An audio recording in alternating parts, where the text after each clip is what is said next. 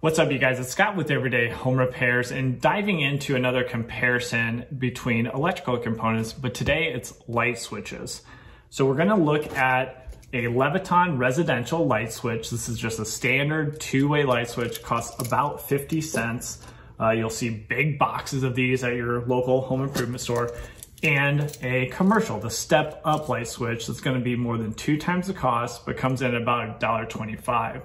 Now, overall, right away, just size-wise, you are say, thinking, okay, the commercial size-wise looks much larger. That's gotta be worth the money, right? Well, I mean, the overall size of the light switch doesn't have actually that much to do with if it's gonna hold up better over time, it's gonna carry the load better, it's gonna create less heat, and it's just gonna be a better light switch for you. So you gotta tear into the internals.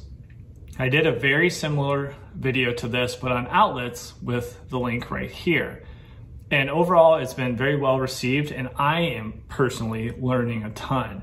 So there are hundreds and hundreds of comments from everybody just DIY weekend warrior experience uh, to failures in their house to professionals and what they've seen over decades and decades and decades of experience. So one, I just really appreciate all those comments and all that information. That is more value than I'll ever be able to bring by myself. So really crowdsourcing that together uh, is really interesting to read through. Now, I do not expect you guys to read through hundreds of comments because no one has that time, but I am going into all those comments. So in the future, not ready right now, but on my website, everydayhomerepairs.com, I will be putting a section on each of these videos, which will have a sister blog article or article out there. And that will break down what I've learned from the comments and then also just what I've learned as these projects develop over time and really bake down some of the best comments, maybe things I've left out or just other tips and tricks for you guys that I think are valuable. So that'll be in the near future. Depending on when you're watching this, you can jump over there and look down in the description and see the link to the website and the appropriate article. But let's jump in and actually look at the internals of this light switch and see if this one is actually worth the money between the residential and the commercial and what you're getting for that money. So let's walk through these side by side. So we have our residential and commercial, both made by Leviton. Like we commented before, the overall size, but what I just want to show you here is how we are holding the mounting bracket and the top actual plastic switch to the bottom housing that holds the contacts. Those are just held together by two rivets, one on top and then one on bottom. That is the same design between residential and commercial. Nothing is different. Those are actually the components that I hacksawed off to get the housing out without much damage. So really no difference on how they're held together. Now let's go into the mounting brackets themselves. Again, commercial, residential. The brackets are almost a one-to-one -one match. Uh, the metal is no thicker. The design is, is the same. The only difference that I could make a comment on is the commercial does have this, uh, it's an additional grounding plate. And those that are professionals, please correct me in the comments if I'm wrong, but I believe what this does is if you ground, which you should, ground the switch, then this this will help to extend that ground to the metal electrical box if you have a metal electrical box. So you do not have to ground that separately. So it can save you time on the install, just depending on your overall setup. So really, eh, outside of that, that's going to be depending on what you're working with for your install. There's no structural difference between the actual brackets. Now going into the switches themselves, which can fail, right? These are plastic, so this could fail over time. Yes, the size difference, but we'll talk a little bit more on that later on. I don't feel that's that important. And then when we actually look at these, the component that's going to hit the contact and is going to open or close the circuit is actually right here. So that's what I'm looking at. I'm probably looking at the pivot joint. I'm looking at that because those are actually the things that need to hold up over time through many, many cycles. And that's what's going to cause a failure if you have one at this level. And really, there's not too much difference between. There's It's a little different design. If we look at the residential here, Um, but to be honest, the residential almost looks a little more robust with that structural spline coming through. But again, probably not worth any uh, money.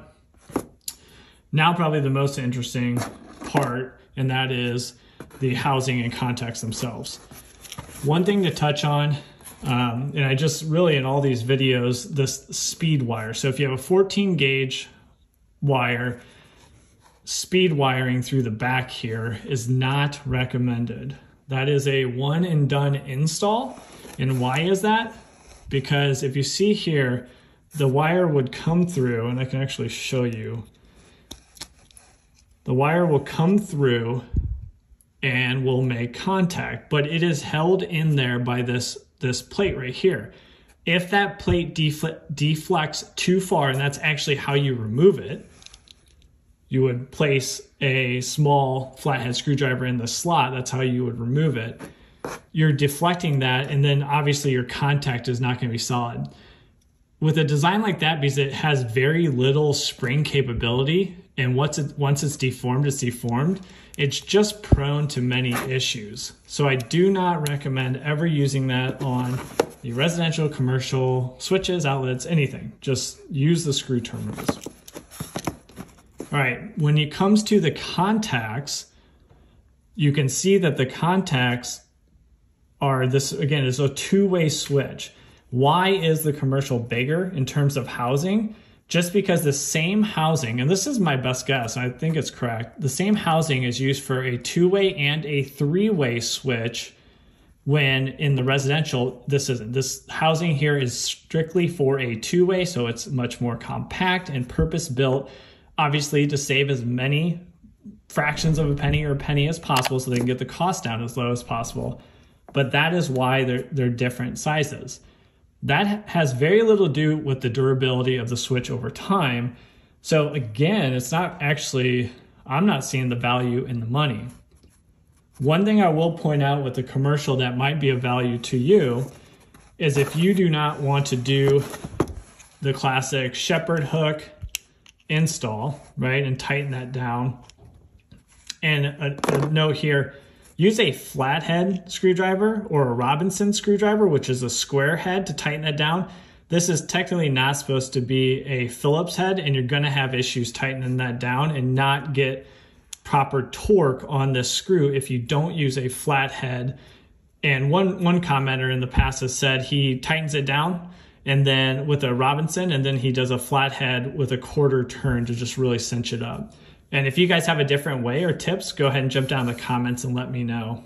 So the shepherd hook going around and we tighten it. Remember, you want to you want to wrap the shepherd hook in the same direction for which you're going to tighten the screw.